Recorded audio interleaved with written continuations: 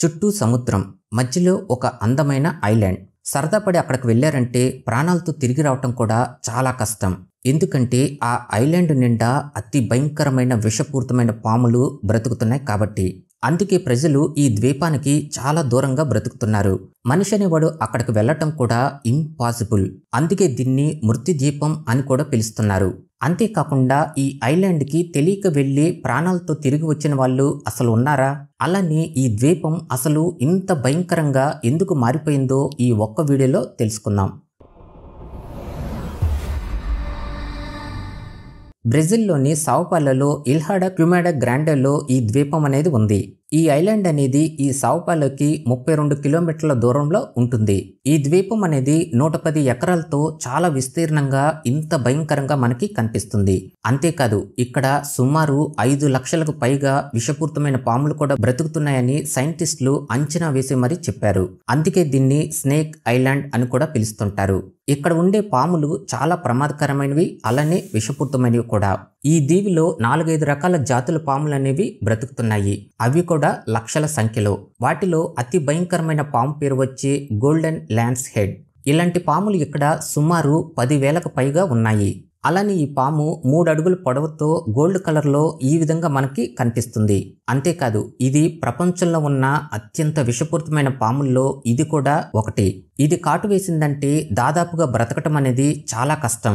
ఎందుకంటే దీని విషం అనేది మనల్ని కాటు వేసినప్పుడు ఆ ప్రాంతంలో మన మాంసం కూడా కరిగిపోతుంది. అంటే దీని విషం యాసిడ్ లాగా అంత ప్రమాదకరమైంది. అంతేకాదు దీని విషం మన బ్లడ్లోకి వెళ్తే వెంటనే కిడ్నీకి బ్రెయిన్కి అలానే బ్లడ్ సర్క్యులేషన్ కూడా వెంటనే ఆపేస్తుంది. దీంతో మనిషి బ్రతకటం అనేది కూడా చాలా కష్టం.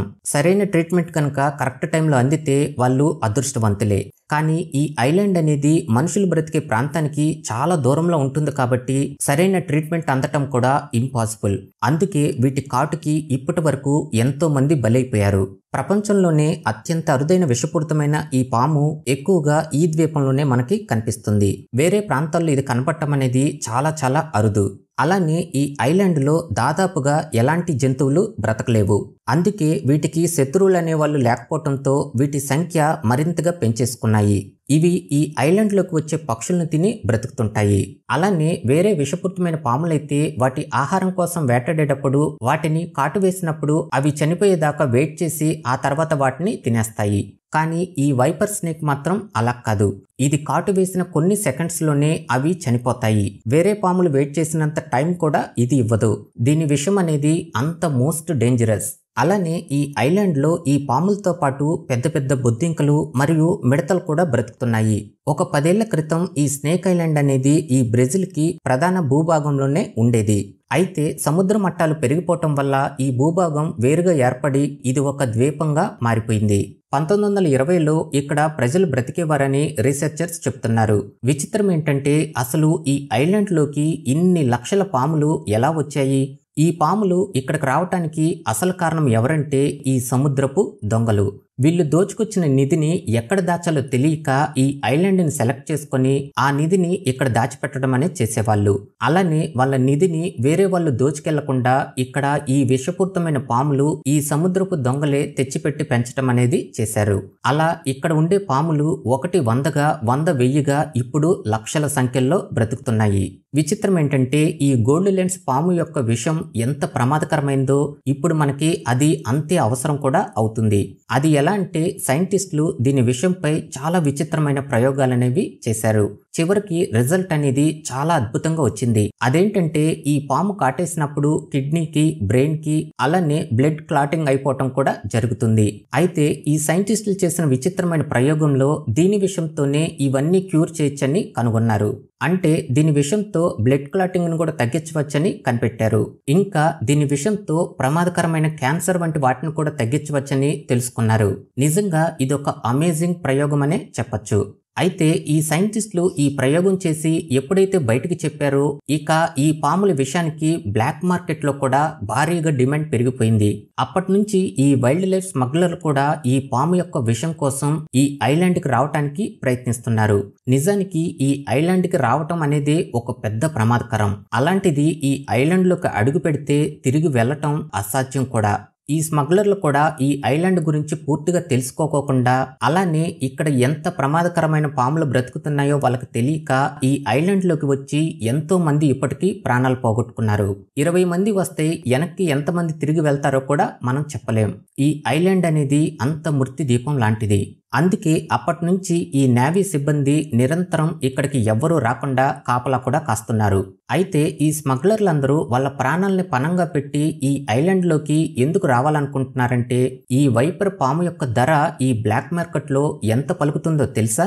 సుమారు ఎనిమిది లక్షల నుంచి ముప్పై లక్షల వరకు. అప్పుడున్న ఆ స్నేక్ డిమాండ్ని బట్టి ఆ రేట్ అనేది అప్ అండ్ డౌన్ అవుతూ ఉంటుంది. ఈ పాము అనేది ఇన్ని లక్షల్లో పలుకుతుండేసరికి అందుకే ఈ స్మగ్లర్లు వాళ్ళ ప్రాణాలను కూడా లెక్క చేయకుండా ఈ ఐలాండ్లోకి రావటానికి నిర్ణయించుకుంటున్నారు. అందుకే ఈ నేవీ సిబ్బంది కూడా ఇక్కడికి ఎవ్వరూ రాకుండా ఎప్పుడూ కాపలా కాస్తూనే ఉంటారు. అయితే ఈ ఐలాండ్లో మనిషి అనేవాడు బ్రతకటమే చాలా కష్టమైతే ఒక్క మనిషి మాత్రం బ్రతుకుతున్నాడు. అతనే ఓడల కోసం ఏర్పాటు చేసిన లైట్ హౌస్లో పనిచేసే ఉద్యోగి. ఈ సైంటిస్టులు కానీ ఈ రీసెర్చ్ చేసే వాళ్ళు కానీ ఈ ఐలాండ్కి వెళ్ళాలంటే ఈ ప్రభుత్వం యొక్క అనుమతి ఖచ్చితంగా తీసుకోవాలి. అయితే ఇలా అనుమతి తీసుకుని రీసెర్చ్ చేయడానికి వెళ్ళిన వాళ్ళు చెప్పింది ఏంటంటే అక్కడ వాళ్ళకి ప్రతి అడుగుకి ఐదు పాములు ఈజీగా కనబడుతున్నాయని చెప్పారు. దీన్ని బట్టి మనం అర్థం చేసుకోవచ్చు. ఆ ఐలాండ్లో ఎన్ని లక్షల పాములు బ్రతుకుతున్నాయో అని. ప్రభుత్వం కూడా ఇన్ని లక్షల పాముల సంఖ్య పెరిగిపోతాం ప్రమాదకరం అని చెప్పి ఈ ఐలాండ్లో అరటి తోటలు కూడా వేశారు. కానీ వాళ్ళు అనుకున్న ఐడియా అనేది వర్కౌట్ అవ్వలేదు. అందుకే ఆ ఐలాండ్లో ఇప్పటికీ అరటి చెట్లు కూడా ఉన్నాయి. పొరపాటున ఈ ఐలాండ్కి ఎవరైనా తెలియక వచ్చారంటే వాళ్ళు చాలా జాగ్రత్తలు తీసుకోవాలి. ముందుగా ఒక పొడవాటి కర్రని దగ్గరుంచుకోవాలి. అంతేకాకుండా ఐలాండ్ లోపలికి ఎంట్రీ ఇవ్వకుండా బయట ఉండటమే చాలా సేఫ్. ఒకవేళ మీకు ఆకలేస్తుందని ఆ ఐలాండ్లో ఉండే అరటి పండ్ల కోసం వెళ్తే కనుక చాలా జాగ్రత్తగా మీ దగ్గరున్న స్టిక్తో ఆ పాముల్ని దూరంగా జరుపుతూ వెళ్ళాల్సిందే. అది కూడా చాలా కేర్ఫుల్గా. ఒకవేళ మీకు అంత ధైర్యం లేకపోతే అక్కడ బ్రతికే బొద్దింకలు తిని బ్రతకాల్సిందే. ఒకవేళ మీరు అతి బలమైన వాళ్ళైతే అక్కడ చాలా అరుదుగా మొసళ్ళు కూడా తిరుగుతుంటాయి. వాటిని చంపి కూడా వాటి మాంసాన్ని తినచ్చు. ఇదంతా కొన్ని రోజుల వరకు సర్వే అవటానికి మాత్రమే. తర్వాత ఇక్కడికి రీసెర్చర్స్ కానీ సైంటిస్టులు కానీ లేదా నేవీ వాళ్ళు కానీ వచ్చినప్పుడు సేఫ్గా వాళ్ళతో రిటర్న్ వెళ్ళిపోవచ్చు. అయితే ఇలాంటి భయంకరమైన సంఘటనే ఒకటి జరిగింది. ఒక ఫిషర్ మ్యాన్ తెలియక ఈ ఐలాండ్కి తన బోట్తో చేరుకున్నాడు. అయితే తనకి బాగా ఆకలి వేయటంతో ఈ ఐలాండ్లో ఏమైనా దొరుకుతాయేమో అని లోపలికి ఎంట్రీ ఇచ్చాడు. ఇక్కడ తనకి ఇంత విషపూరితమైన పాములు ఉంటాయని తెలియక అక్కడ తనకి అరటి పండ్లు కనబడేసరికి వాటిని తెచ్చుకుందామని వెళ్ళాడు. అంతే ఆ అరటి పండ్లకు వెళ్ళేలోపే అతన్ని ఏడెనిమిది పాములు కాటేసేశాయి. వెంటనే తను ప్రాణభయంతో ఆ ద్వీపం నుంచి బయటికి పరుగులు పెట్టాడు. అంతేకాదు తన బోట్ తీసుకుని రిటర్న్ ప్రయాణం వెళ్ళేలోపే దారి మధ్యలోనే చనిపోయాడు. ఈ పాముల యొక్క విషం ఇంత ప్రమాదకరమైంది. కొన్ని నిమిషాల్లోనే ఇంతటి మనిషిని కూడా ఈజీగా చంపేయగలుగుతాయి. అలానే ఒకరోజు ఈ లైట్ హౌస్ కీపర్గా ఒక ఉద్యోగిని పెట్టారు. తను తన భార్య మరియు పిల్లలతో ఈ లైట్ హౌస్లో ఉండేవాడు.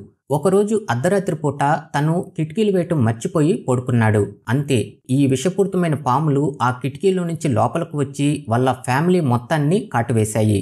వెంటనే ఆ ఉద్యోగి ప్రాణభయంతో ఆ ఐలాండ్ నుంచి బయటికి పరుగులు పెట్టారు. దురదృష్టం ఏంటంటే వాళ్ళు వాళ్ళ బోటును చేరుకునే లోపే అందరూ చనిపోయారు.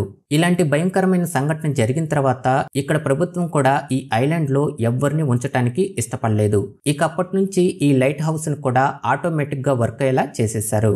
ఇంత జరుగుతున్నా కూడా ఈ పాముల యొక్క ధర లక్షల్లో పలుకుతుండేసరికి ఈ స్మగ్లర్స్ ఈ నేవీ వాళ్ళ నుంచి తప్పించుకొని ఈ ఐలాండ్లోకి రావటానికి కూడా సిద్ధమవుతున్నారు. నిజానికి వాళ్ళకి తెలుసు ఈ ఐలాండ్లోకి వెళ్తే రిటర్న్ ఎంతమంది తిరిగి వస్తామో అని.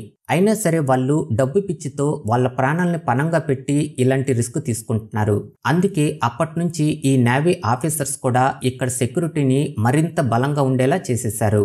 ఇక ఈ ఐలాండ్లోకి ఒక్క మనిషి కూడా ఎంటర్ అవ్వకుండా చాలా స్ట్రాంగ్గా సెక్యూర్ చేస్తున్నారు.